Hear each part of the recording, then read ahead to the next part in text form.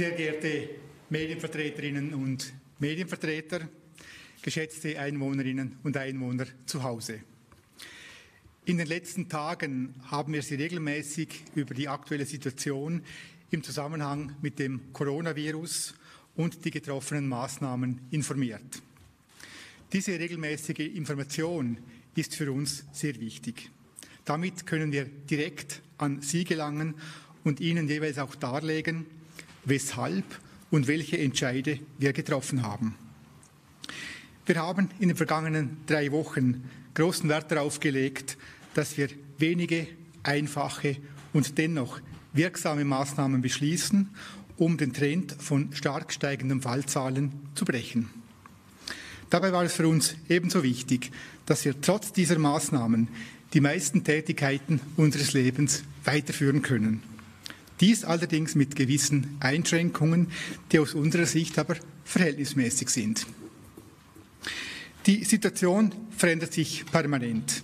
Deshalb befassen wir uns praktisch täglich damit und beurteilen laufend, ob wir unsere Strategie anpassen müssen oder nicht. In den letzten Tagen hat sich die Situation leider noch nicht entschärft. Wir verzeichnen nach wie vor Tag für Tag eine hohe Zahl positiv getesteter Personen. Allein in den letzten vier Tagen wurden über 120 Personen positiv auf das Coronavirus getestet. Im Durchschnitt sind das jeden Tag 30 neue Fälle. Hochgerechnet auf 100.000 Einwohner sind das in den letzten Tagen mehr als 1.000 Personen, die positiv getestet worden sind.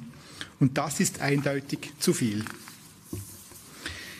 Wir sind überzeugt, dass unsere Maßnahmen richtig sind und halten im Grundsatz daran fest. Aufgrund der weiterhin hohen Anzahl positiv getesteter Personen haben wir heute dennoch eine Anpassung vorgenommen. Wir haben entschieden, dass private Veranstaltungen nicht mehr bis maximal 30 Personen zugelassen sind, sondern nur noch bis 10 Personen. Wir haben mehrfach betont, dass wir auf die Eigenverantwortung setzen. Diese Eigenverantwortung betrifft vor allem das private Umfeld. Die Zahlen zeigen, dass die Ansteckungen insbesondere im privaten Umfeld passieren. Wir hoffen auf Ihre Unterstützung. Es ist wichtig, dass Sie die Anzahl der nicht nötigen Kontakte im privaten Umfeld möglichst gering halten und damit Ihren Beitrag zur Bewältigung dieser Pandemie leisten. Ein zweites Thema betrifft das Contact Tracing. Ich habe in den vergangenen Tagen bereits ausgeführt, dass es unsere Aufgabe ist, die Durchhaltefähigkeit des Gesundheitswesens und der staatlichen Organe sicherzustellen. Die große Zahl an Kindern, die positiv getestet wurden, hat das Contact Tracing an die Belastungsgrenze gebracht. Denn oft haben diese Kinder eine Vielzahl an engen Kontakten. Diese bzw. ihre Eltern müssen ebenfalls kontaktiert werden, um die Quarantäne zu verordnen. Das wiederum führt zum Problem, dass die Eltern vor der Herausforderung stehen, während der Quarantäne der Kinder die Betreuung sicherzustellen. Um diese kritische Situation zu entlasten, haben wir entschieden, dass bei Kindern im schulpflichtigen Alter nur noch dann die Quarantäne verordnet wird, wenn diese Kinder enge Kontaktpersonen im gleichen Haushalt sind. Für alle anderen Personen gilt nach wie vor die bestehende Regelung. Mit dieser Maßnahme können wir das Contact Tracing nicht nur deutlich entlasten, sondern auch sicherstellen, dass es weiterhin funktioniert. Zudem können wir die Eltern betreffend die Betreuungssituation entlasten. Ich möchte an dieser Stelle nochmals aufrufen. Bleiben Sie zu Hause, wenn Sie Symptome haben. Lassen Sie Ihre Kinder zu Hause, wenn diese Symptome haben. Melden Sie sich bei der Hotline und lassen Sie sich testen. Damit helfen Sie mit, die Ausbreitung des Virus einzuschränken. Ich komme nun kurz zur Wirtschaft. Die Regierung hat heute den Bericht und Antrag betreffend das Maßnahmenpaket 3.0 verabschiedet. Der Wirtschaftsminister hat diese Maßnahmen bereits angekündigt und wird anschließend noch vertieft darauf eingehen. Im Wesentlichen geht es darum, die Kurzarbeitsentschädigung und das Covid-19-Taggeld bis Mitte des nächsten Jahres zu verlängern. Um dies zu finanzieren, werden dem Landtag auch entsprechende Finanzbeschlüsse vorgelegt. Es ist der Regierung ebenfalls sehr bewusst, dass einige Branchen, wie beispielsweise die Gastronomie und Hotellerie, von der aktuellen Situation besonders stark betroffen sind. Deshalb hat die Taskforce Wirtschaft unter der Leitung des Wirtschaftsministers auch eine Härtefallregelung auf den Weg gebracht. Die Regierung hat beim Landtagspräsidium beantragt, dass dieser Bericht und Antrag bereits anlässlich der November-Landtagssitzung behandelt wird. Damit kann den betroffenen Unternehmen rasch Rechtssicherheit gegeben werden. Und das ist in diesen unsicheren Zeiten besonders wichtig. Wie geht es nun weiter? Nächste Woche werden wir uns mit der Frage befassen, ob die befristete Schließung der Gastronomie per Mitte November wieder aufgehoben werden kann oder ob diese Maßnahme verlängert werden muss. Bis zu diesem Zeitpunkt sind von der Regierung keine weiteren Entscheide zu erwarten. Wie bereits ausgeführt, halten wir an unserer Strategie fest und hoffen, dass die getroffenen Maßnahmen die gewünschte Wirkung zeigen werden. Ich gebe nun weiter an den Gesundheitsminister Mauro Petrazzini. Vielen Dank. Ja, wie immer an dieser Stelle möchte ich Ihnen kurz äh, schildern, wie die aktuelle Lage in Liechtenstein ist. Wir haben hier die Fallzahlen der letzten Tage und Sie sehen, sie schwanken sehr stark. Das hängt mit vielerlei Dingen zusammen. Manchmal können nicht alle Tests am selben Tag gemacht werden oder innerhalb von 24 Stunden. Und manchmal ist es schlicht und einfach auch so, dass an den Wochenenden viel weniger Personen zur Drive-Thru-Teststation kommen als unter der Woche. Jedenfalls haben wir mit der roten Linie einen Sieben-Tages-Durchschnitt eingezogen und dieser Sieben-Tages-Durchschnitt ist doch jetzt über einige Tage konstant geblieben. Das ist für mich ein gutes Zeichen, aber eben eine Schwalbe macht noch keinen Sommer. Wenn wir uns die Fälle anschauen, kumuliert, dann sehen wir hier einen sehr steilen Anstieg. Er ist mittlerweile ja ungefähr linear, aber er ist mit äh, fast 30 Fällen pro Tag im Durchschnitt immer noch viel zu hoch. Wenn wir uns nur die letzten 14 Tage anschauen, dann sehen wir, dass es immer noch steil aufwärts geht und dass wir die Inzidenz von 1000 Fällen in den letzten 14 Tagen hochgerechnet auf 1000 Einwohner schon durchstoßen haben. Das ist ungefähr die gleiche Inzidenz wie in der gesamten Schweiz. Also wir schenken uns da nichts hüben und drüben des Rheins. Aber das sind hohe Zahlen. Wir haben aktuell 249 erkrankte Personen. Die werden jeden Tag kontaktiert von dem Contact Tracing Team und werden nach ihrem Gesundheitszustand befragt. Wenn sich der Gesundheitszustand verschlechtert, werden sie sofort einbestellt zu einer Untersuchung am Landesspital und dort wird dann entschieden, ob eine Therapie gemacht werden muss oder ob gegebenenfalls auch die Personen stationär aufgenommen werden müssen. Also das ist eine hohe Zahl jetzt, die uns täglich fordert. Wir haben 424 Personen in Quarantäne wegen engem Kontakt. Viele davon betreffen eben Schüler oder Kinder unter 16 Jahren oder im, äh, im, schulpflichtigen Alter. Und wie der Regierungschef schon ausgeführt hat, stellen wir leider fest, dass dort besonders viele Kontaktpersonen angegeben werden, wenn es um die Frage geht, mit wem hatte eine infizierte Person Kontakt in den letzten 48 Stunden vor Symptomausbruch. Wir hatten so eine Situation auch bei den Erwachsenen vor einigen Wochen. Dort mussten wir auch feststellen, dass gewisse Erwachsene bis zu 20 Kontaktpersonen angegeben haben, mit denen sie zusammengesessen sind, mehr als eine Viertelstunde, näher als eineinhalb Meter, ohne eine Maske zu tragen, in den letzten 48 Stunden vor Symptombeginn. Das hat sich bei den Erwachsenen mittlerweile stark reduziert. Aber bei den Kindern muss man eben feststellen, wenn wir dieselben Regeln anwenden wie bei den Erwachsenen, dass wir dort eben sehr, sehr viele Kinder in Quarantäne schicken müssen und zu jedem Kind dazu, wenn es klein ist, auch noch einen Elternteil, damit es auch betreut werden kann. Und das ist einfach zu viel. Das überfordert das Contact Tracing und wir mussten nach anderen Möglichkeiten suchen. Wir haben derzeit zwölf Personen hospitalisiert, eine davon immer noch auf der Intensivstation.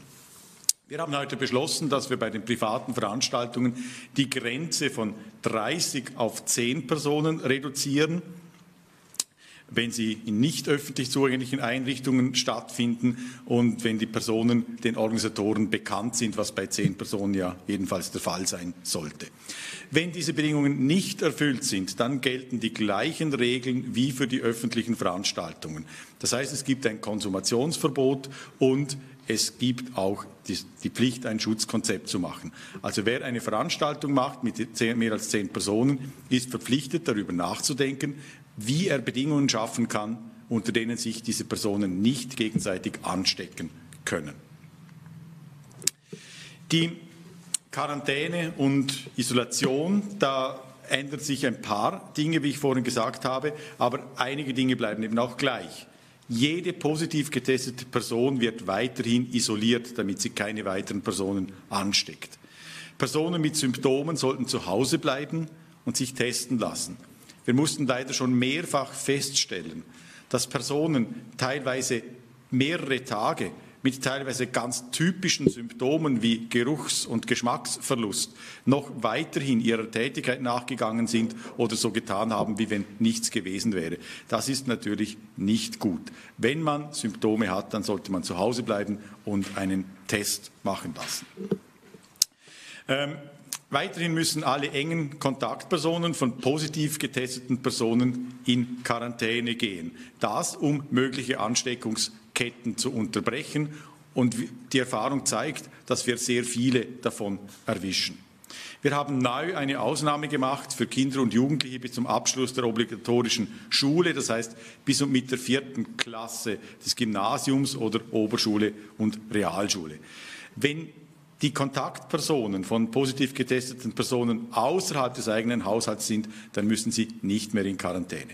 Oder anders gesagt, wenn im Haushalt einer solchen Person, eines solchen Kindes oder eines Jugendlichen äh, eine, ein, ein, ein, positiver Fall auftritt, dann muss dieses Kind, dieser Jugendliche in, Isola in Quarantäne und sonst eben nicht. Also das ist jetzt eine Einschränkung, die eben dazu führen sollte, dass wir nicht ganze Klassen in Quarantäne schicken müssen und zu jedem Kind dazu noch ein Elternteil wegen der Betreuung. Allerdings behalten wir uns vor, wenn spezielle Konstellationen vorkommen, bei denen wir eben vermuten müssen, dass es starke Ansteckungsketten gibt, die wir nicht identifizieren können, dass wir auch weiterhin größere äh, Kreise in Quarantäne schicken müssen. Diese Folie habe ich schon mehrfach gezeigt. Es zeigt die beiden Möglichkeiten. Man kann Sozialkontakte einschränken oder man kann die Kontakt Sozialkontakte so gestalten, dass die Ansteckung unwahrscheinlich ist. Das erste haben wir im März, April gemacht und wir arbeiten mit der zweiten Methode jetzt sehr stark. Aber es liegt natürlich an jedem Einzelnen, an jeder Einzelnen, diese Methode 1 eben auch anzuwenden. Also die Sozialkontakte auf das unbedingt Nötige einzuschränken und vor allem die ungeschützten Sozialkontakte auf das unbedingt Nötige einzuschränken. Die Regeln bis zum 15. November sind noch dieselben wie schon äh, vorher gesagt. Es gibt an Veranstaltungen keine Konsumationen und Gastronomiebetriebe bleiben für das Publikum geschlossen. Mittlerweile hat ja Deutschland und Österreich ähnliche Regeln erlassen, was die Gastronomie anbelangt. Allerdings ein Staat unbeschränkt und der andere Staat bis Ende November. Wir empfehlen auch im privaten Bereich Masken zu tragen, wenn der Abstand von eineinhalb Metern nicht eingehalten werden kann. Und wir empfehlen, ich wiederhole das nochmals, die Sozialkontakte auf das dringend Nötige einzuschränken. Man muss feststellen, dass dieses Virus jetzt überall ist. Wir haben in der Marktplatzgarage, in der Drive-Thru-Station, da kommen ja nur die Leute, die einen einen Test brauchen, weil sie Symptome haben und ganz wenige, weil sie vielleicht reisen wollen. Da stellen wir fest, da hatten wir in den letzten Tagen einmal über 30 Prozent Positivitätsrate. Das ist gewaltig. Also jeder Dritte, der dort kam und Beschwerden hatte, der wurde auch positiv getestet. Und interessanterweise gab es gestern auch zwei Personen, die wollten sich einen Negativtest holen, weil sie reisen wollten. Beide waren positiv und die haben es selbst nicht gespürt. Also das Virus ist jetzt überall und diese sehr hohe Positivitätsrate ist ein Indikator dafür, dass es im Moment im Erkältungsgeschehen ein dominantes Virus ist. Und das ist natürlich eine besonders gefährliche Situation. Wir hatten gestern auch eine Medienmitteilung der Universität Liechtenstein, die äh, den Präsenzunterricht einschränken musste aufgrund einer Party, die stattgefunden hat, an Halloween. Und ich fand einen Satz oder zwei Sätze noch sehr bemerkenswert. Ein wesentlicher Faktor für das Gelingen eines Schutzkonzepts ist Eigenverantwortung, schreibt die Universität. Damit widerspiegelt sich das Spannungsfeld der gesamtgesellschaftlichen Situation. Doppelpunkt. Disziplin, Hausverstand und Eigenverantwortung lassen sich einmahnen, aber sind nicht garantiert. Und genauso ist es leider. Und wir müssen daran arbeiten, dass diese Disziplin, der gesunde Menschenverstand und die Eigenverantwortung auch weiterhin Maxime unseres Handelns bleibt. Dann wird es uns gelingen, diese zweite Welle eben auch gut zu bewältigen. Zum Schluss wie immer die Empfehlungen, die wir geben in unserer Medienkampagne gründlich Hände waschen, in die Armbeuge husten, husten oder niesen, Hände schütteln vermeiden, Abstand halten, Masken im ÖV und öffentlich zugänglichen Gebäuden tragen und bei Symptomen zu Hause bleiben und die Hotline anrufen. Nun übergebe ich an den Wirtschaftsminister. Vielen Dank, ähm, geschätzte Medienvertreter hier im Fürst Johannissaal, geschätzte Einwohnerinnen und Einwohner und speziell auch geschätzte Unternehmerinnen und Unternehmer. Äh, gerne schließe ich mich den Worten des Regierungschefs und des Gesundheitsministers an. Ich teile auch die Hoffnung des Regierungschefs, dass mit den Maßnahmen, die wir ähm, getroffen haben, ähm, wir eben auch einen guten Verlauf dann, dann sehen werden. Was auch schon gesagt wurde, eben die Eigenverantwortung ist eben sehr sehr, sehr wichtig äh, und nicht alles, was quasi noch erlaubt ist, ist auch sinnvoll, wenn man es tut oder wenn man irgendwo ausweicht. Ähm, deshalb appellieren wir ja so oft auch daran, selbst nachzudenken, was denn jetzt sinnvoll ist oder nicht. Kommen wir zur Wirtschaft, kommen wir auch zur Lösungsfindung in der Wirtschaft und zur Unterstützung. Es ist genau zehn Tage her, als die Regierung die drastischen aufgrund des drastischen Anstiegs der Infektionszahlen beschlossen hat, die Gastronomie per 24. Oktober zu schließen. Und dieser ähm, ja, Einschnitt, schmerzhaft für die Gastronomie, aber schmerzhaft auch für die Gesellschaft, war aus unserer Sicht unvermeidbar und eben auch am richtigen Ort, nämlich an dem Ort, wo wir außerhalb des privaten Bereichs eben das größte Restrisiko orten. Ich möchte an dieser Stelle nochmals betonen, dass die beschlossene Maßnahmen sich nicht gegen die Gastronomie wendet und dass es auch nicht darum ging, einen Schuldigen zu suchen. Ganz im Gegenteil. Es ging darum, Lösungen zu finden, damit wir möglichst gut durch diese Pandemie kommen. Neben der Gastronomie gibt es weitere Branchen und Betriebe, so beispielsweise die Event- und Reisebranche, die sich bislang nicht von der ersten Welle erholen konnte und deren Aussichten für den Herbst, Winter und auch darüber hinaus auch ohne diese zweite Welle ähm, alles andere als gut war. In diesem Bereich hat die Regierung bereits vor Wochen ähm, entschieden, dass wir Unterstützung anbieten möchten. Und äh, da werden wir heute auch etwas präsentieren können. Aufgrund der zum Teil drastischen Maßnahmen auch in den verschiedenen anderen europäischen Ländern ist aber auch in weiten Teilen der restlichen Wirtschaft die Verunsicherung in den letzten Tagen äh, gewachsen und in den Austausch, also im Austausch, den wir hatten, sei es mit der LIHK, mit der Wirtschaftskammer und auch mit den Gastronomen, ähm, hat sich gezeigt, dass es wichtig ist, hier auch Sicherheit ähm, zu geben im Blick nach vorne. Und darauf werde ich gleich auch noch eingehen. Die Regierung hat deshalb heute einige Entscheide getroffen und auch die Schlagzahl erhöht, damit hier rasch Lösungen gefunden werden können. Hier sehen Sie der Schaubild, das Maßnahmenpaket 3.0. Ähm, wir haben dieses Bild letzte Woche ähm, schon anskizziert. Ich bin auch schon auf verschiedene Punkte eingegangen. Heute ähm, haben wir den Bericht und Antrag verabschiedet zuhanden des Landtages, ähm, auch den äh, Betriebskostenzuschuss, das Reglement äh, verabschiedet und auch äh, die Parameter äh, im Bereich der Härtefälle Q4, Q1 ähm, für die Gastronomie ähm, festgelegt. Und auf diese Entscheide möchte ich jetzt kurz eingehen. Ich bitte auf das nächste Slide zu wechseln. Ja, das war jetzt eines zu viel, aber das ist okay. Ähm, Entschuldigung. Ja, ja, dann fehlt da eines, kein Problem. Ähm, zum blauen Teil zur Kurzarbeitsentschädigung zum Covid-19-Taggeld. Da ist es so, dass ähm, der Bericht und Antrag, der ähm, heute verabschiedet wurde und in diesen Minuten zum ähm, Landtag geht, eben diese Verlängerung vorsieht. Einerseits ist das eine gesetzliche Anpassung, damit ähm, quasi diese Regelungen, wie wir sie getroffen haben, dann auch bis nächsten Sommer ähm, äh, Bestand haben. Zum anderen sind es zwei Finanzbeschlüsse, die in diesem Bericht und Antrag drin sind. Letzte Woche, äh, anlässlich der Pressekonferenz, habe ich informiert, wo wir ungefähr stehen mit der Kurzarbeitsentschädigung. Wir waren dabei rund einer Ausschöpfung von 40 Millionen ähm, und 50 Millionen hat der Landtag gesprochen. Und wenn wir ähm, auf Ende Jahr hingehen, dann werden diese 50 Millionen aufgebraucht sein.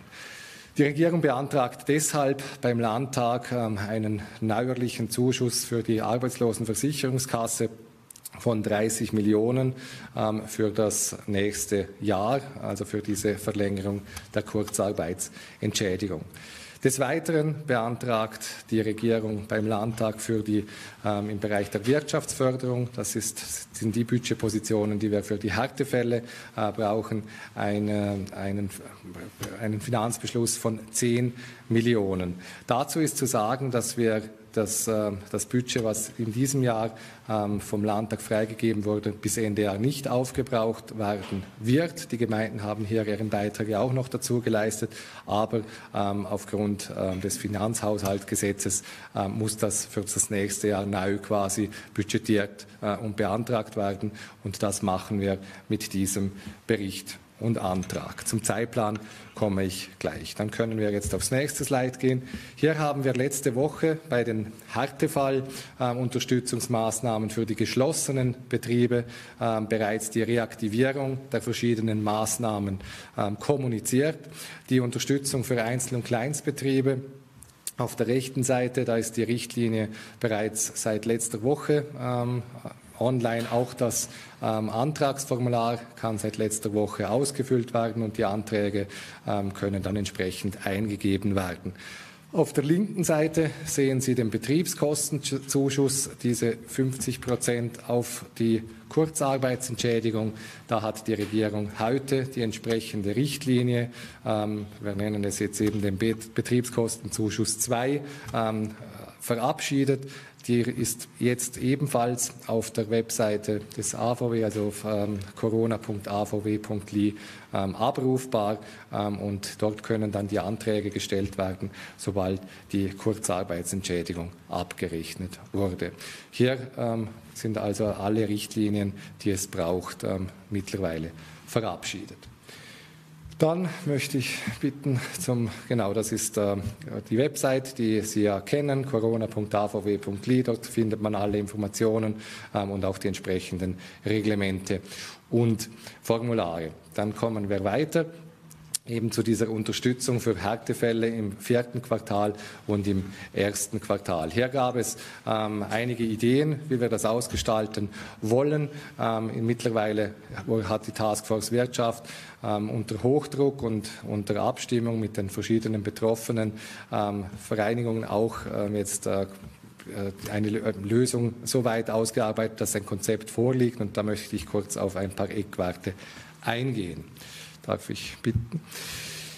Es ist so, dass diese Unterstützung für Härtefälle auf ähm, besonders betroffene Branchen eingeschränkt ist. Das ist unter anderem die Gastronomie, Catering und Hotellerie, dann die Betriebe der Eventbranche, beispielsweise Veranstaltungstechnik, ähm, Zeltverleih und so weiter und Betriebe der Reisebranche, sowohl Betriebe ähm, die Reise vermitt Reisen vermitteln, als auch äh, Busunternehmen, äh, die als Reiseveranstalter tätig sind. Des Weiteren ähm, haben wir uns auch Gedanken zur, zu den Fitnessbetrieben ähm, gemacht. Diese, also da sind wir mit den Gemeinden in Abstimmung, dass hier äh, maßgeschneiderte Lösungen dann auch präsentiert werden können.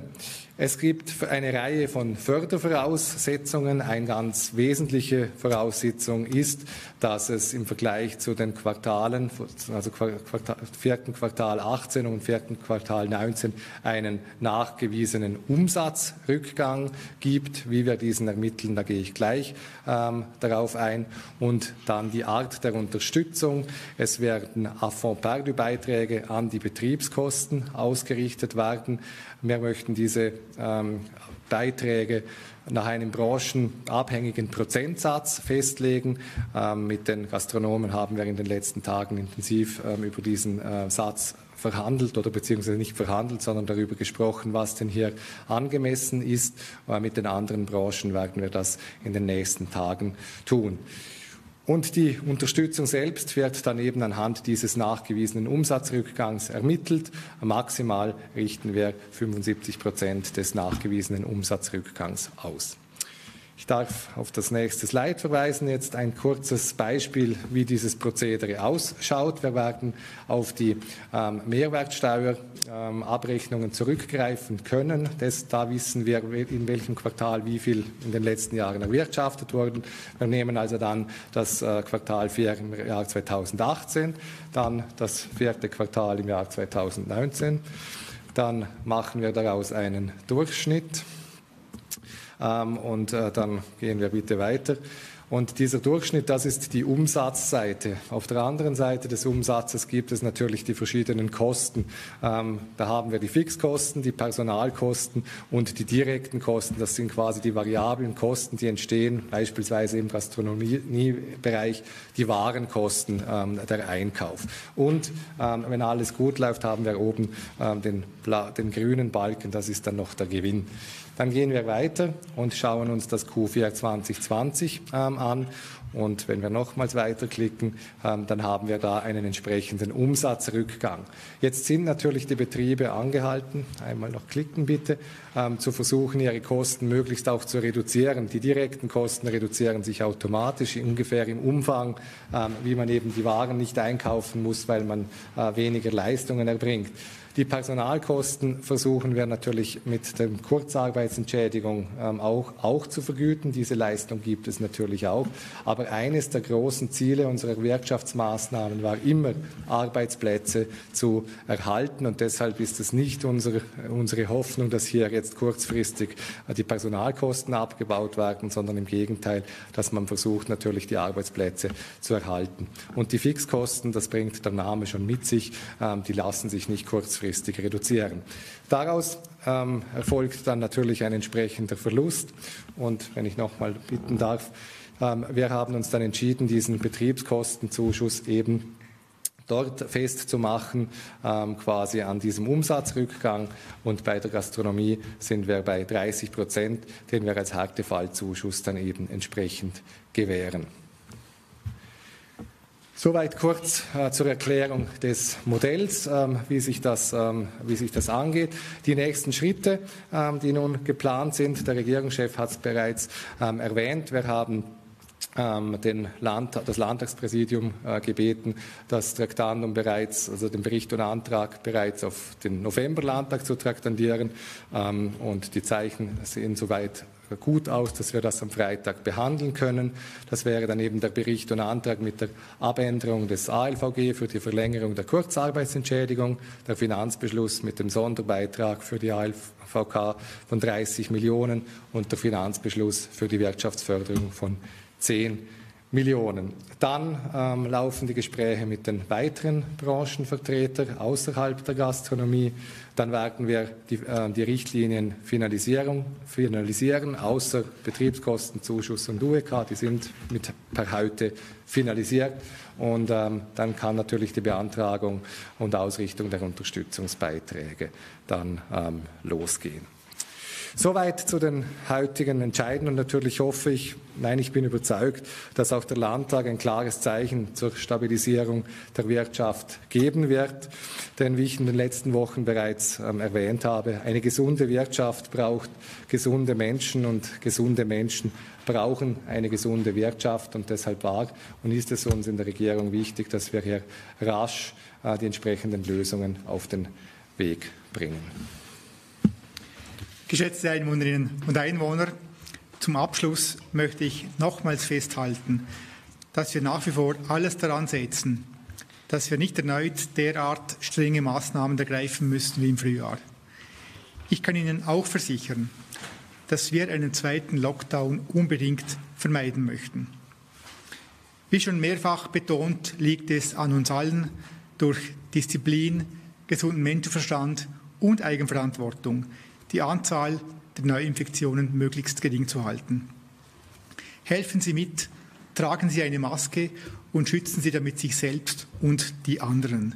Wir zählen auf Sie. Besten Dank. Nun stehen wir gerne für Fragen zur Verfügung.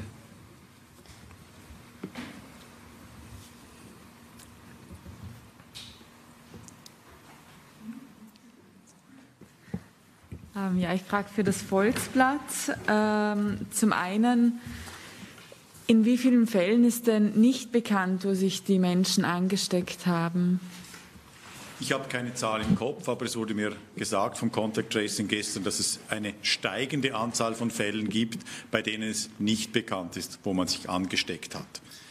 Das kann teilweise real sein, aber wir stellen leider auch manchmal fest, dass, uns, äh, dass wir etwas angeschummelt werden. Weil es unangenehm ist, sozusagen seine Kollegen zu verpfeifen, mit wem man zusammen war, und die werden dann in Quarantäne gesetzt. Also wir müssen da immer ein bisschen abstrahieren von dem, was man uns sagt. Aber die Wahrscheinlichkeit, dass es Ansteckungen gibt, bei denen man keine Ahnung hat, woher man sie hat, ist eben bei einer Positivitätsrate von 30 Prozent doch relativ hoch. Wenn man dieses Virus als dominantes oder mindestens eines der dominanten Viren in diesem Erkältungsgeschehen jetzt anschaut, dann ist es einfach an vielen Orten gleichzeitig und man kann sich relativ schnell anstecken. Wie man sich halt sonst bei einer Erkältung auch relativ schnell anstecken kann. Diesmal kommen halt noch die Aerosole dazu, wenn man sich längere Zeit in einem Raum mit Personen aufhält, in einem kleinen Raum auch noch und dort auch noch viel gesprochen wird oder gesungen wird oder gelacht wird, dann hat man eben eine gewisse Gefahr, dass Aerosole auch bei der Übertragung eine Rolle spielen.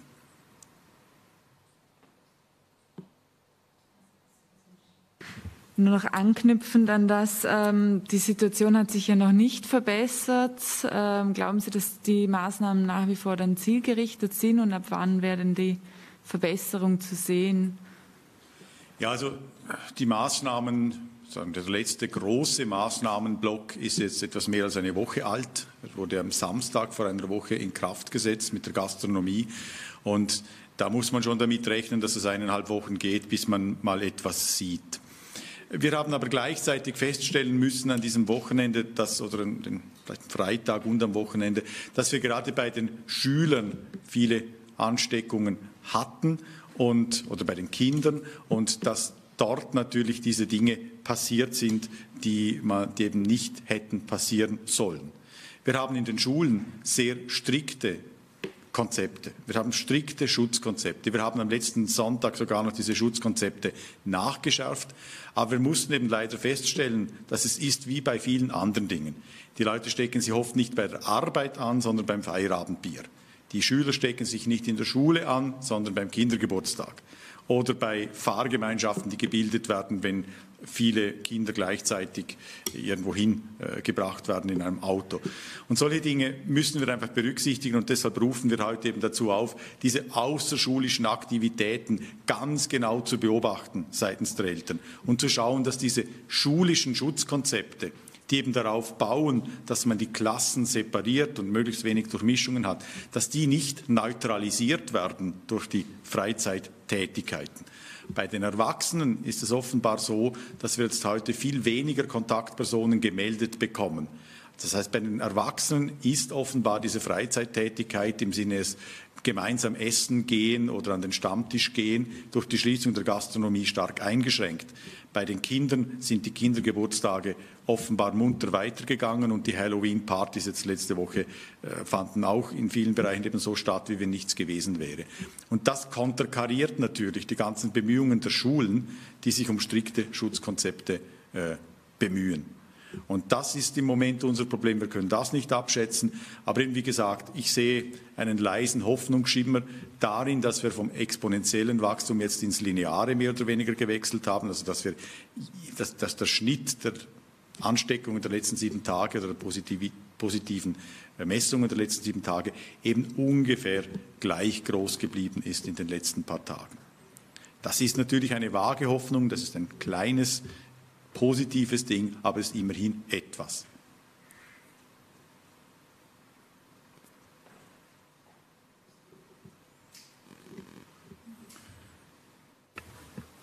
Ich hätte eine Frage zu den Personen, die sich in Quarantäne befinden.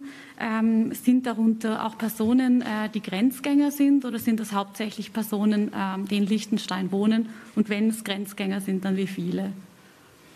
Ich habe keine derartige Zahlen, weil normalerweise geht das so. Jetzt mal, ich spreche jetzt mal vom Schweizer System, weil wir dort eins zu eins eingebunden sind, dieselbe Software verwenden, wie in der Schweiz das die Kantone machen.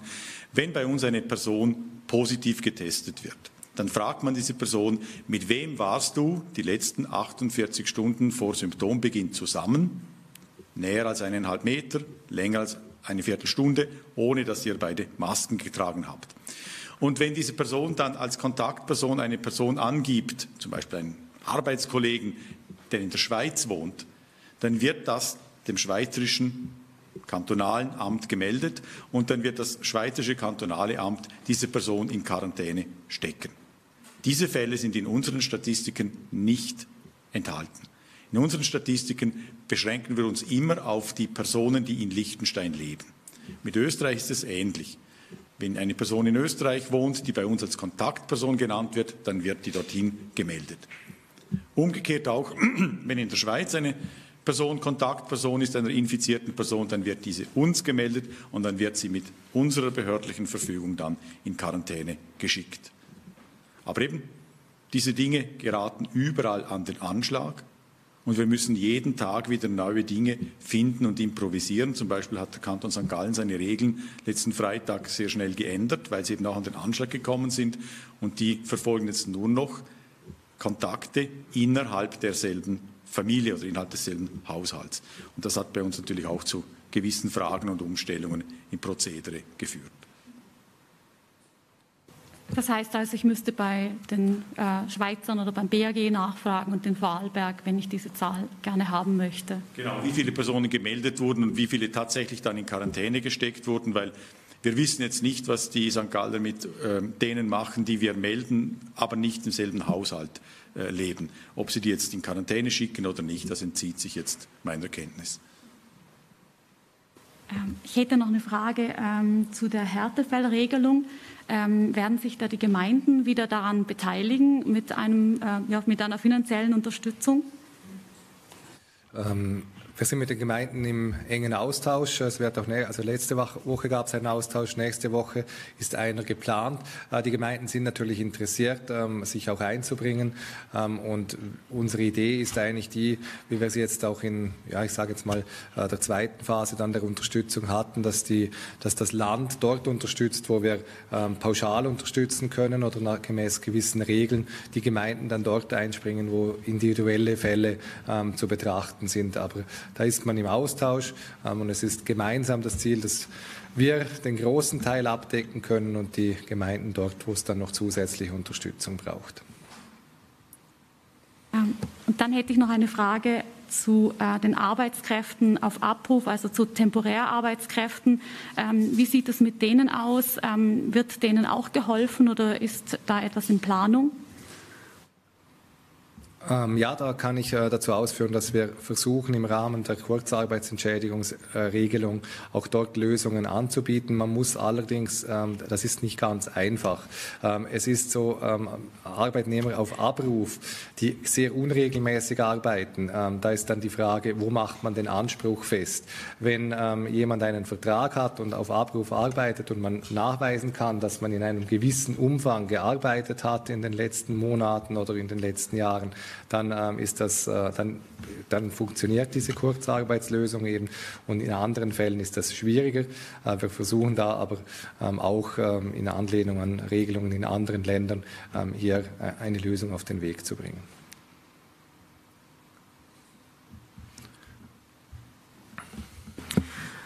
Gerne gebe ich auch Leserfragen äh, des, äh, von Lesern des Liechtensteiner Vaterlands äh, an die Regierung weiter. Äh, eine Frage ist, ob die neue Quarantäneregelung für Kinder auch schon für jene gilt, welche aktuell, aktuell jetzt in Quarantäne sind. Ja, also die, diejenigen, die jetzt in Quarantäne geschickt wurden, die werden alle am nächsten Sonntag aus der Quarantäne entlassen. Und es werden keine neuen mehr in Quarantäne geschickt. Was zusätzlich noch zu sagen ist, dass wir eine Regelung aufnehmen, dass kurze Aufenthalte an der frischen Luft für die unter Quarantäne stehenden Kinder erlaubt sind, aber eben sie sollten keine Personen treffen außerhalb des eigenen Familienverbands. Kann ich noch eine Frage zum Vorfall an der Universität in Liechtenstein?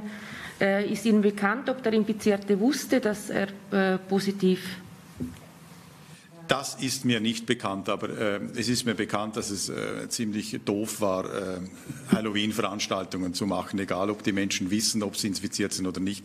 Weil, wie gesagt, gerade junge, jüngere Leute oft kaum Symptome haben, die spüren kaum, dass sie infiziert sind, aber sie können es trotzdem weitertragen. Wir werden sehen, wie weit es getragen wurde, weil die, das, das, ähm, das Gebäude ist jetzt unter einer Art Quarantäne von der Universität selbst verordnet und wir werden sehen, wie viele positive Fälle sich daraus ergeben. Dann gerne noch eine Frage. Ähm, was gilt für die katholischen Gottesdienste? Äh, ein Leser fragt, wann die Mundkommunion untersagt wird. Also an sich, ähm, Verpflegung ist bei Veranstaltungen nicht erlaubt, aber die Kommunion, die schauen wir nicht als profane Verpflegung an, sondern das ist eine rituelle Handlung. Und ich hoffe nicht, dass wir so weit gehen müssen und das auch noch verbieten müssen. Ich hoffe wirklich stark, dass der Verstand dieser Personen, die ja allesamt studierte Personen sind, so weit reicht, dass sie sich die Konsequenzen dessen vorstellen, wenn sie einen Superspreader-Event in ihrer Kirche veranstalten und gerade ältere Leute, die oft die Mundkommunion geben, angesteckt werden durch ihre Hände. Das müssen Sie sich jetzt einfach mal plastisch vorstellen und dann sich vorstellen, welche Vorwürfe Sie sich gefallen lassen müssen aus der Gemeinde. Ich denke, wenn dann der Verstand nicht einsetzt, dann weiß ich auch nicht mehr. Dann sind wir mit unserem Latein am Ende. Noch eine Frage, bevor ich dann wieder an äh, das Volksblatt übergebe. Ähm, die Leser möchten auch wissen, das sind ja alles Maßnahmen, die relativ kurzfristig sind oder absehbar sind, bis wann sie gelten. Hat denn die Regierung auch eine langfristige Strategie, wie es danach weitergeht? Unsere langfristige Strategie, die hätten wir ja eben begonnen vor einigen Wochen. Und die, die besteht eben darin, dass wir sagen, man kann alles machen, aber alles ist ein Maskenball. Das ist so die grundsätzliche Überlegung. Man kann einkaufen, man kann Veranstaltungen machen, aber man muss immer irgendetwas unternehmen, damit die Menschen sich nicht gegenseitig anstecken können. In einer ersten Phase hatten wir noch erlaubt, dass sechs Personen an einem Tisch sitzen in der Gastronomie, Abstände zwischen den Tischen. Und wir haben dann gesehen, dass das Wachstum zu stark ist. Und wenn diese Maßnahmen Erfolg haben, dann ist es sehr wahrscheinlich, dass wir wieder diesen Schritt zurück machen, dass wir sagen, es gibt Veranstaltungen, man kann alles durchführen, was man will, aber man muss einfach überall Schutzkonzepte einhalten, damit wir so durch den Winter kommen und die Zahl der Ansteckungen auf einem Niveau halten können, das für unser Gesundheitswesen und auch für die Durchhaltefähigkeit der anderen Services des Staats keinesfalls kritisch ist. Wo dieses Niveau genau ist, das lässt sich im Moment eben nicht sagen. Wir müssen da schrittweise vorangehen und, und schauen, wie sich die Dinge entwickeln eben immer mit dem Wissen, dass unsere Handlungen sich nur mit Verzögerung auf das tatsächlich beobachtete Geschehen in den Spitälern, in den Institutionen auswirken. Also das ist unsere Strategie, dass man möglichst alles tun kann, dass man einkaufen kann, dass man Gottesdienste abhalten kann und so weiter und so fort. Aber eben überall mit entsprechenden Schutzmaßnahmen, die so denke ich, an die wir uns wahrscheinlich langsam aber sicher gewöhnen werden.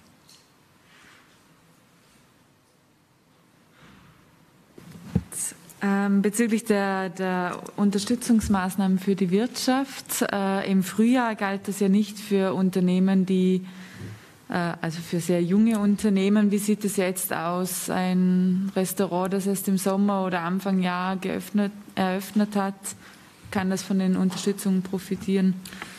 Wir haben im Konzept vorgesehen, dass äh, es auch hier eine Frist gibt, nämlich der 1. März, ähm, vor dem man äh, gegründet ähm, worden sein soll. Ähm, es kann aber natürlich auch sein, dass man trotzdem nicht schon mehrere Jahre die Quartalszahlen hat. Auch da haben wir uns Gedanken gemacht, wie wir das quasi dann lösen können. Am Ende des Tages wird es aber bei gewissen Betrieben, wir hoffen bei einer ganz kleinen Zahl, um Einzelfallbetrachtungen gehen. Und da sind wir auch, wie jetzt eigentlich auch im Sommer, im Gespräch mit den Gemeinden die eben viel ähm, ja, besser dann auch die Einzelfälle prüfen und unterstützen können, ähm, als wir das mit unseren Lösungen können. Also ich glaube, es ist wichtig, auch hier das Hand in Hand mit den Gemeinden zu machen, damit wir gute Lösungen ähm, für die verschiedenen Spezialfälle, sage ich jetzt mal, finden. Gut, kommen wir zur letzten Frage.